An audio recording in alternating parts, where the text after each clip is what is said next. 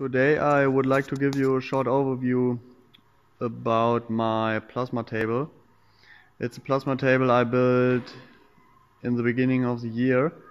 It cost me about 1000 euros.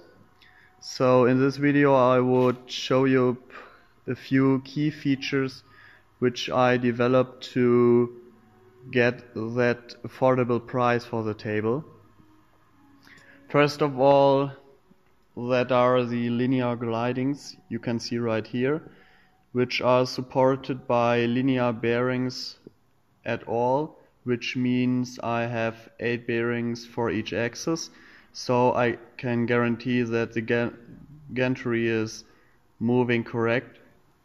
And it really costs me about, I guess, $30 each axis with the materials and bearings and all that stuff. The stepper motors are 3M NEMA 24 motor motors with I guess 4 newton meters of torque. I can't really mention anymore, but I guess that's that are the right ones.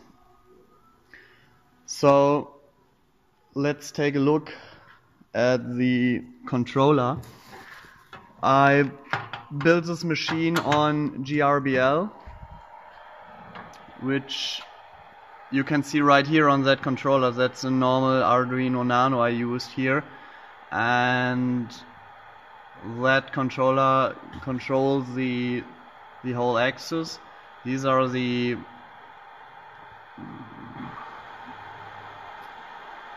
the amplifiers for each axis.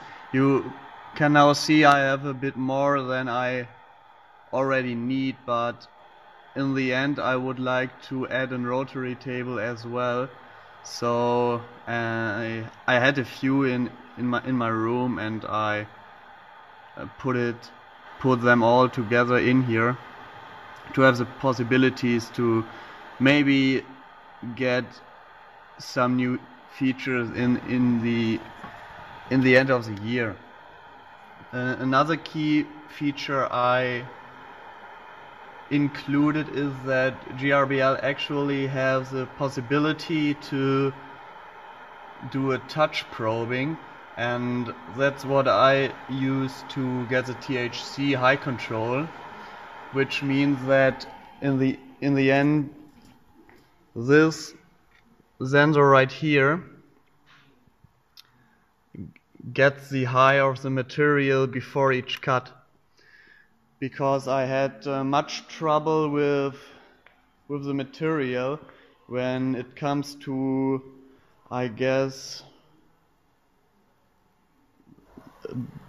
below 1.5 millimeters in in thickness of material then the the whole material begins to wobble and I can't get an, a clear a clear cut anymore.